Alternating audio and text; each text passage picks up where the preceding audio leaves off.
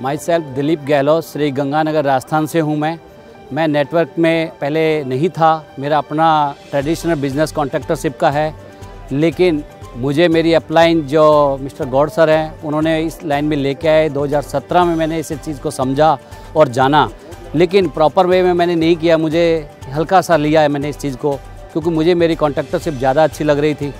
उसके बावजूद फिर मुझे इन चीज़ों में कुछ इंटरेस्ट आने लगा, मुझे लगा, ये चीज़ें लॉन्ग लाइफ चलने वाली है, इनकी रॉयल्टी विशेषकर मेरे को अट्रैक्टिव किया है।